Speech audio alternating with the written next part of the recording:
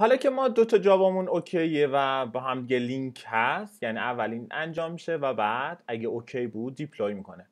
می‌خوایم یکم تست کنیم. ببینیم به چه نحو میریم داخل محیط کدمون. مثلا توی همون می چیز. این اینجا رو عوض می‌کنیم.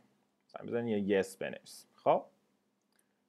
برای اینکه این کار انجام دادیم ما باید توی main, main underline تستمونم expect مسیجمون هم عوض کنیم. چرا؟ چون که این تست پس نمیشه اگه این خلافش باشه. خب. میبندیمش و اینم حله. درسته؟ اوکی. خب. اینجا اگه حالت خود یو آی باشه دوتا این می‌تونیم اینجا کامیت مسیج رو بنویسیم و اینتر کنیم.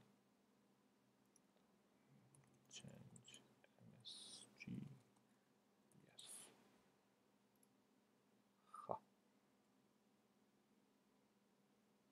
اینجا پوش رو می‌زنیم. خب. همیشه که داره پوش میشه.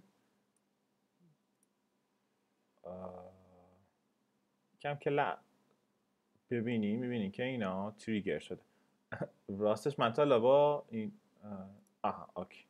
trigger شد از محیط یو آش من تا push نکردم. خب trigger که شد این progress نوشت. اینا تستش می‌کنه build ش می‌کنه Docker image رو build کرد و میفرسته توی registry یعنی دقیقا این کار داره انجام میده. اینجا notify شد از طریق webhooks GitLab رفت این طرف میاد اینجا و اگه okay بود job, job بعدی یا run کرد.